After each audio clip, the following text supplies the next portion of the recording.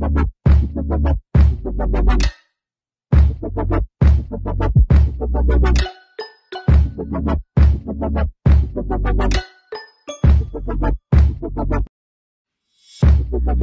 guys, welcome back to our channel. channel. oh. Hi guys, welcome back to our channel. We are sorry that we haven't been posting. However, we are back. And we was going to make a video when we got home. But we are stuck behind a truck in Starbucks car park. Like it's just it's just parked there and We're can't stuck, guys. We're stuck. I mean unless you can try drive, but Don't think, don't think that's to work. Does anybody else like cookies and cream frappuccino from Starbucks? I do. We're starting to get the milk out now. We've literally been here for about We- half an hour. Yeah, we've been here for about half an hour. It started getting milk out. It doesn't look like we're moving anywhere. Looks like we need to walk around the drive-through and try again another Starbucks.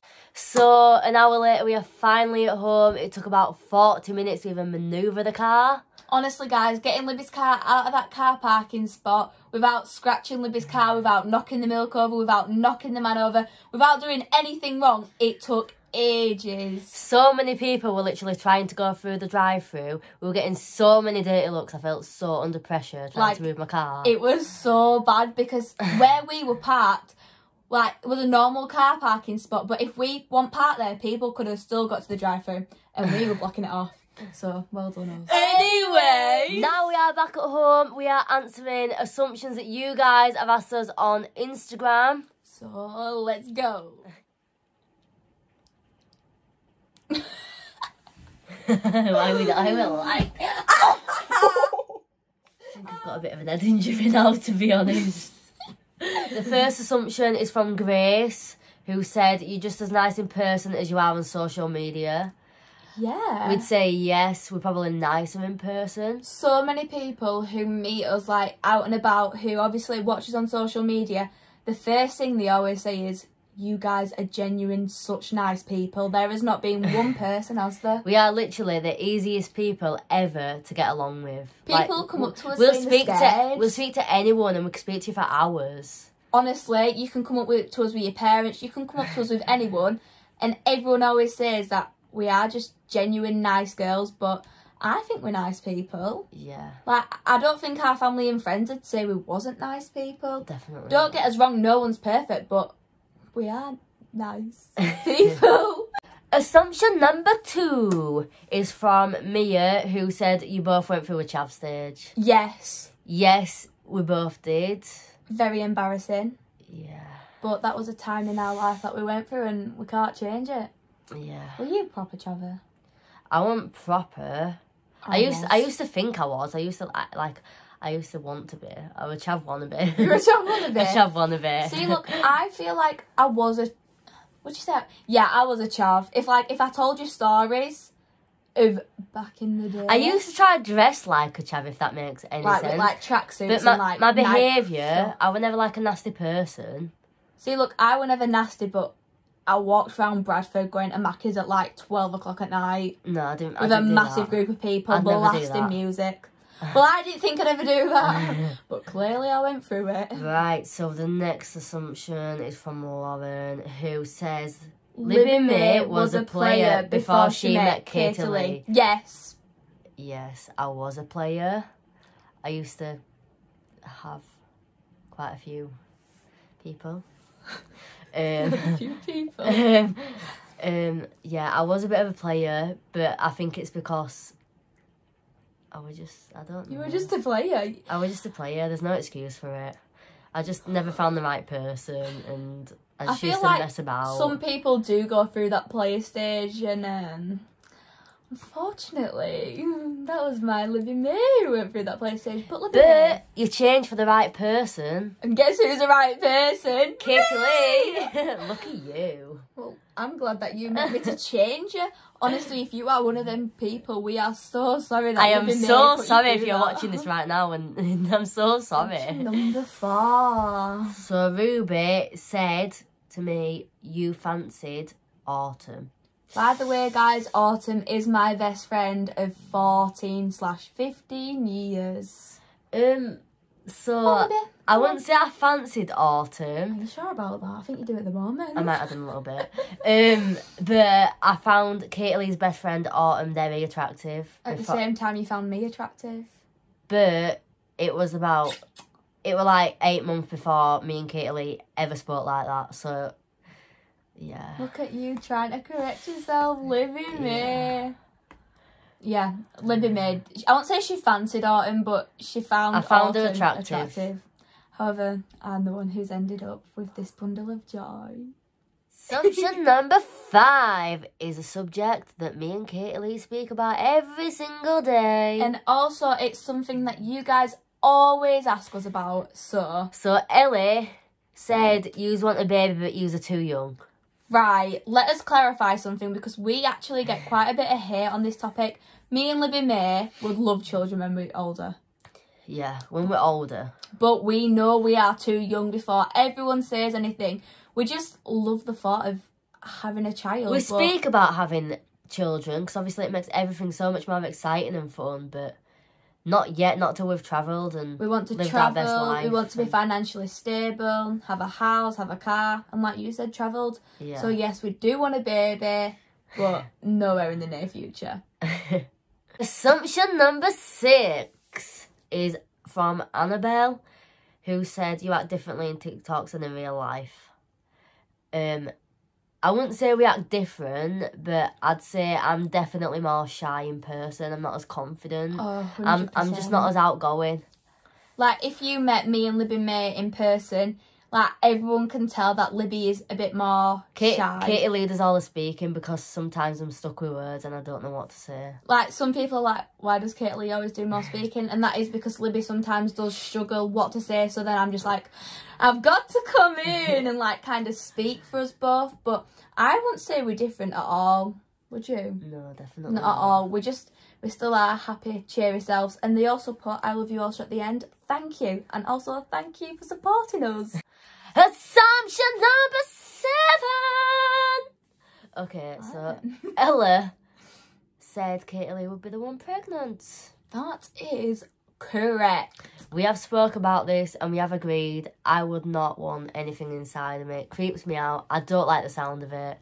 Katylee wants to be the one Who gets pregnant? who gets pregnant. me and Libby have literally spoke about it so many times because some couples might have like a bit of argument over it, but this is something that me and Libby would never argue about. Libby does not want a child in her It belly. creeps me out. Like we've planned what we're doing, like etc. But no, I would definitely be the one to carry the baby, and that is a joint decision.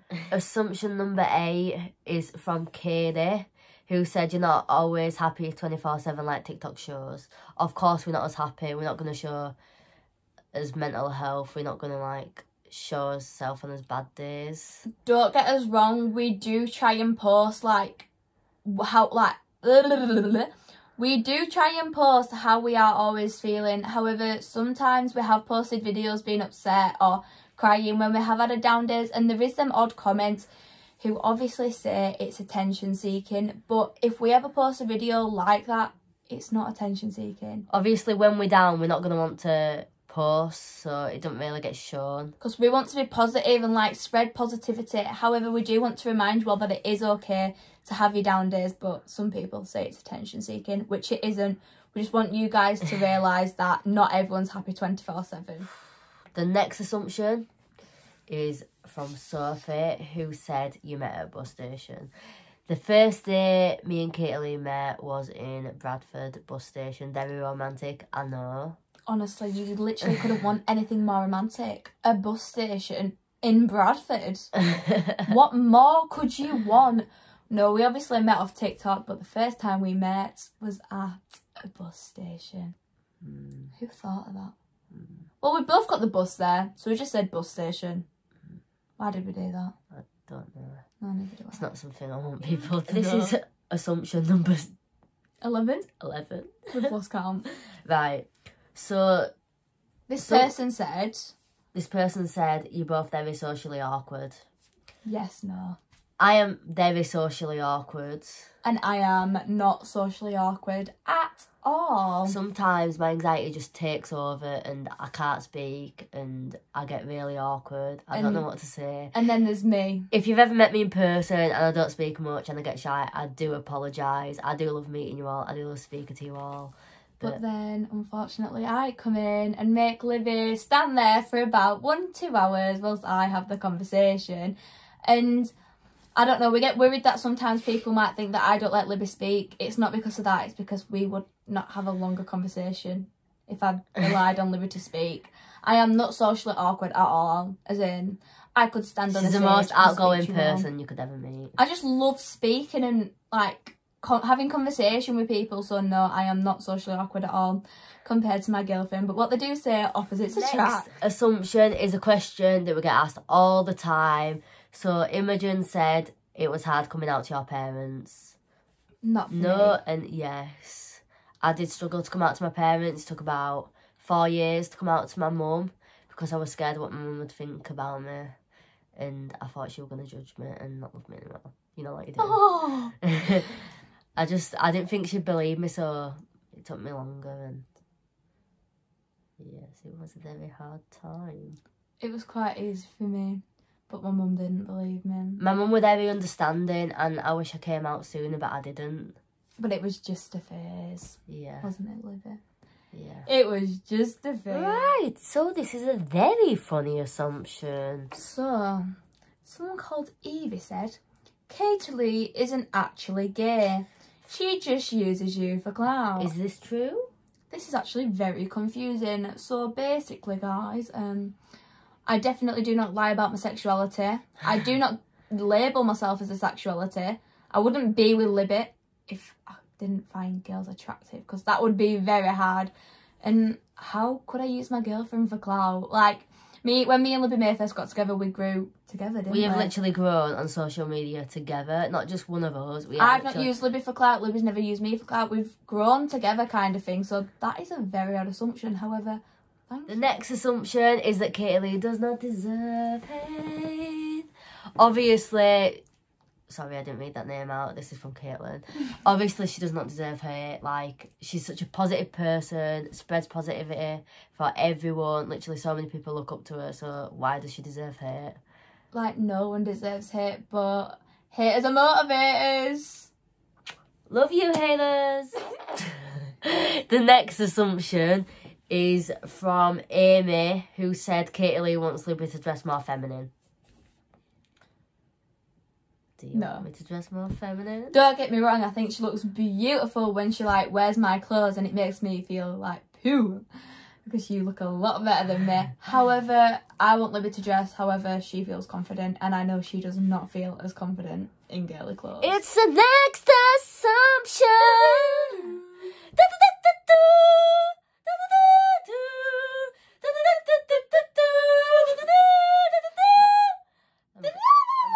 The next assumption is from Amy, who also said, if Katylee didn't do TikTok, Libby wouldn't do TikTok. This is, in fact, true. a hundred percent true. Well, Libby would most probably do TikTok, but The not thing is, the I- she's doing it now. I wouldn't have the confidence to video myself or take any photos if I didn't meet Katylee. So I wouldn't be where I am today. It just makes my heart melt every time you say it. No, when I first met Libby, she obviously had the app, but she could not bring herself to post any videos. I used to cover my face and everything. So thanks to this girl, I am who I am today. I am myself. But no, like I feel like if we didn't get together, we wouldn't post as often anyway. Like I don't even think I'd post as often.